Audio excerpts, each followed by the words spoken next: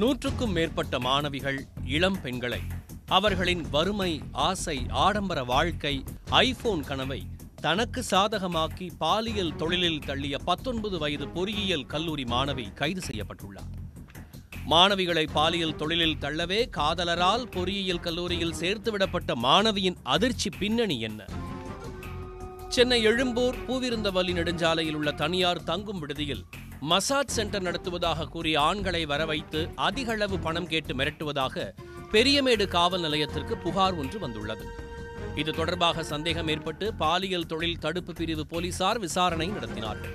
அப்போது மூன்றாம் ஆண்டு பொறியியல் படிக்கும் கல்லூரி மாணவி ஜெயப்பிரதா சிக்கிக் கொண்டார்.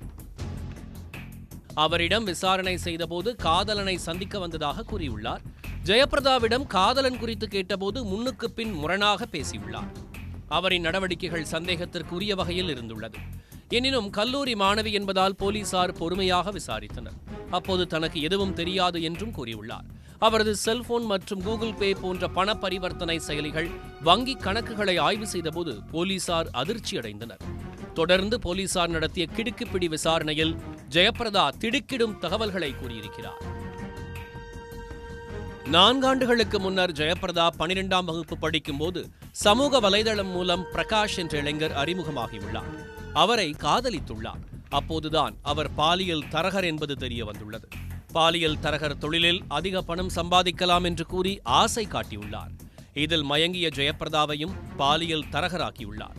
இந்த தொழிலில் கல்லூரி மாணவிகளுக்கு அதிக டிமாண்ட் இருப்பதாகவும் அவர்களை பாலியல் தொழிலுக்கு கொண்டு வரும் பணியை செய்ய வேண்டும் எனவும் ஜெயப்பிரதாவிடம் கூறியிருக்கிறார். இதற்காக சென்னையில் உள்ள பிரபல பொறியியல் கல்லூரி ஒன்றிலும் பணம் கட்டி பிரகாஷே ஜெயபிரதாவை படிக்க வைத்திருக்கிறார். கல்லூரியில் சேர்ந்த சில நாட்களில் பாலியல் தரகரான காதலரால் தனக்கு வழங்கப்பட்ட பணியை ஜெயபிரதா தொடங்கியுள்ளார். முதல் கட்டமாக சக மாணவிகளிடம் நட்பாக பழகத் தொடங்கியுள்ளார். அவர்களின் குடும்ப சூழல் வாழ்க்கை முறை ஆடம்பர தேவைகள் அவசர தேவைகள் குறித்து அறிந்துள்ளார். முதலில் எக்ஸாம் ஃபீஸ் ஹாஸ்டல் ஃபீஸ் உள்ளிட்டவைகளை கட்டத் தவிக்கும் மாணவிகளுக்கு கடன் கொடுத்து உதவியுள்ளார். அந்த கடனை திருப்பிக் கொடுக்க முடியாமல் அவர்கள் இருக்கும்போது மேலும் பணம் கொடுத்து ஜெயப்பிரதா உதவியுள்ளார். எப்படி இவ்வளவு பணம் உன்னிடம் வருகிறது என அந்த மாணவிகள் கேட்கும்போது இதேபோல் நிறைய சம்பாதிக்க தன்னிடம் வழியிருப்பதாக கூறி அவர்களை தனது வலையில் விழ வைத்ததாக போலீசாரிடம் கூறி அதிர்ச்சியை ஏற்படுத்தினார். தனது வலையில் விழும் மாணவிகளை காதலனுடன் சேர்ந்து சென்னை பெங்களூரு மும்பை போன்ற இடங்களுக்கு அழைத்துச் சென்று பாலியல் தொழிலில் ஈடுபட வைத்துள்ளார். கல்லூரி மாணவிகளை விரும்பும் தொழிலதிபர்கள் முக்கிய பிரமுகர்களுக்கு மட்டுமே அவர்களை அனுப்பி வைத்து வந்ததாகவும் கூறியுள்ளார். அவர்கள் அனைவரும் ஹை ப்ரொஃபைல் மனிதர்கள் என்பதால் விஷயம் வெளியில் தெரியாது என்பதுடன் அவர்களிடம் நிறைய பணம் பெறலாம் என்றும் கூறி மாணவிகளை பாலியல் தொழிலில் ஈடுபட வைத்ததாக ஜெயப்பிரதா போலீசாரிடம் கூறினார். தொடர் விசாரணையில் தொழிலதிபர்களிடம் முப்பது முதல் நாற்பதாயிரம் ரூபாய் வரை பணத்தை ஜிபே மூலம் பெறும் ஜெயபிரதா பிரகாஷ் ஜோடி மூவாயிரம் முதல் நாலாயிரம் ரூபாய் மட்டும் மாணவிகளுக்கு கொடுத்துவிட்டு மற்ற பணத்தை தாங்கள் எடுத்துக் கொண்டதும் தெரிய வந்துள்ளது. பிரகாஷ் ஜெயபிரதா ஜோடி தங்களின் பாலியல் தொழிலுக்காக சென்னை உள்ளிட்ட பல்வேறு இடங்களில் சொகுசு வீடுகள் தங்கும் விடுதிகளை வாடகைக்கு எடுத்தும் ஓயோ ரூம்களை வாடகைக்கு எடுத்தும் போலீசாரிடம் சிக்காமல் பாலியல் தொழில் நடத்தி வந்துள்ளனர். கடந்த மூன்று வருடமாக பாலியல் தொழிலில் காதல் ஜோடி ஈடுபட்டும் ஒரு முறை கூட போலீசில் சிக்காமல் இருந்துள்ளனர். காதலன் பிரகாஷ் உதவியுடன் பாலியல் தொழில் இணையதளம் மற்றும் செயலி மூலம் விளம்பரப்படுத்தி பொறியியல் கல்லூரி மாணவி ஜெயபிரதா விமர்சையாக பாலியல் தொழிலை செய்ய ஆரம்பித்துள்ளார்.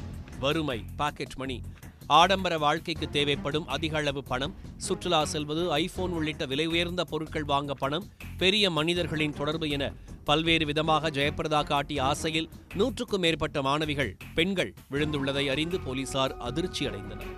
ஜெயப்பிரதாவின் வலையில் சிக்கிய பெண்களின் விவரங்களை ஜெயப்பிரதா போனிலிருந்து போலீசார் மீட்டனர்.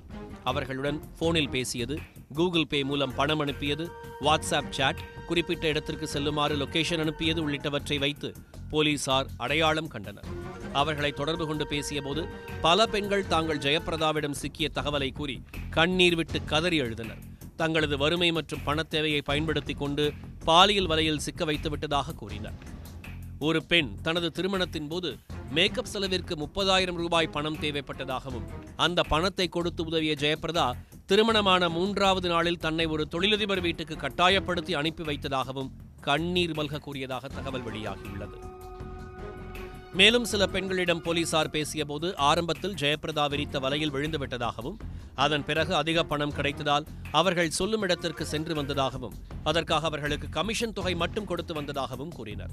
குறிப்பாக கால் டாக்ஸி இயங்கும் முறையில் கமிஷனை அவர்களுக்கு கொடுத்துவிட்டு மீதி பணத்தை தாங்கள் எடுத்துக் கொண்டதாக கூறி போலீசாரை தலை சுற்ற வைத்தனர். கல்லூரி மாணவிகள் மற்றும் பெண்களை பாலியல் தொழிலில் தள்ளிய பொறியியல் கல்லூரி மாணவி ஜெயபிரதாவை கைது செய்த பாலியல் தொழில் தடுப்பு பிரிவு போலீசார் காதலன் பிரகாஷின் கூட்டாளி பிரேம்தாஸையும் கைது செய்தனர். முக்கிய தரகரான காதலர் பிரகாஷை போலீசார் தீவிரமாக தேடி வருகின்றனர். கல்லூரி மாணவிகளை பாலியல் தொழிலில் தள்ளுவதற்காகவே பொறியியல் கல்லூரியில் சேர்ந்து பத்தொன்பது வயதுக்குள் நூற்றுக்கும் மேற்பட்ட கல்லூரி மாணவிகள் இளம் பெண்களை பாலியல் தொழிலில் தள்ளிய மாணவியின் செயல் பெற்றோர்களை பெரும் அதிர்ச்சியில் ஆழ்த்தியுள்ளது. உடனுக்குடன் செய்திகளை தெரிந்து கொள்ள சன் நியூஸ் பெல் கிளிக் பண்ணுங்க.